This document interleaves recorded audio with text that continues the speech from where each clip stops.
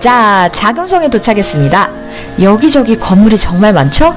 자금성은 약 100만 명의 사람들이 14년에 걸쳐 건설을 했는데 그 규모가 굉장히 웅장합니다.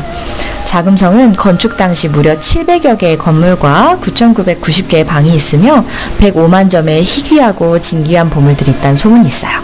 실제 방 개수도 약 9천여 개에 달합니다. 그러다 보니 자금성을 다 보려면 사나흘은 잡아야 된다는 말이 있어요.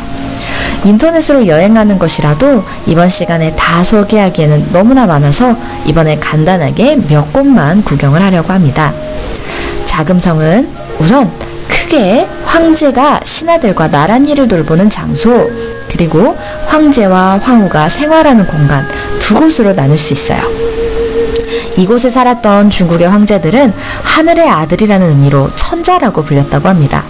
천자가 사는 곳인 만큼 화려하고 위험 있는 건물들이 눈에 띄는데 그 중에서도 가장 크고 화려한 궁이 있어요. 바로 정면에 보이는 이 태화전입니다. 황제가 공식적으로 업무를 처리하는 장소인데요. 즉위를 할 때, 혼인을 할 때, 전쟁에 나가기 위해 출정식을 할 때, 탄생 축하 행사, 외국의 사신 접대 등 큰 규모의 국가 행사가 있을 때 이용했다고 합니다. 태화전은 보다시피 이렇게 3단 기단 위에 지어졌는데 이 기단 이 기단에 장식된 동물 조각과 문양도 하나같이 아름답고 섬세합니다. 자, 높은 계단을 한번 올라가 보도록 할게요. 자, 태화전 코 앞에 도착을 했는데 상당히 마당이 넓죠. 자, 그럼 이번에는 태화전 안까지 한번 들어가 볼게요. 자, 눈앞에 황제가 앉아있던 옥좌가 있네요. 황제의 위엄을 드러내듯 상당히 화려한 모습입니다. 여기서 퀴즈 하나 낼게요. 황제를 상징하는 가장 대표적인 동물은 무엇이 있을까요? 그렇죠. 맞아요. 용이에요.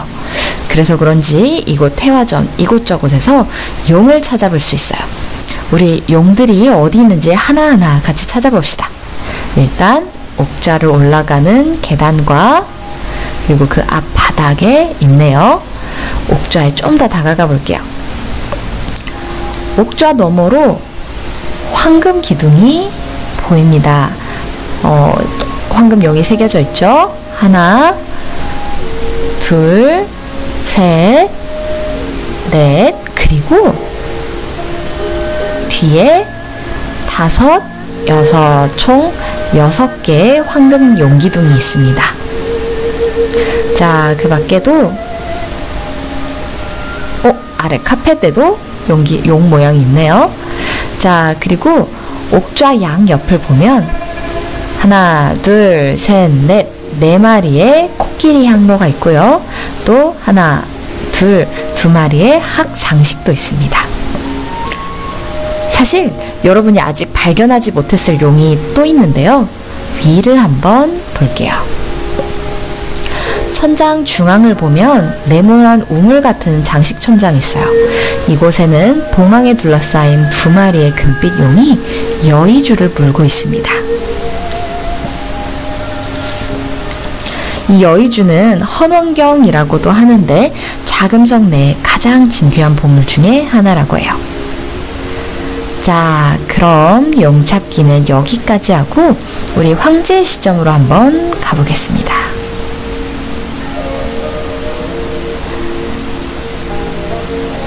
자, 태화전이 참 넓죠? 이 넓은 태화전에 조정 대신들과 함께 무수히 많은 그리고 다양한 백성들을 살피던 황제 모습을 한번 상상해 보세요. 중국의 황제들은 이 자리에 앉아 어떤 생각을 했을까요? 또 어떤 기분이었을지 한번 상상해 보세요.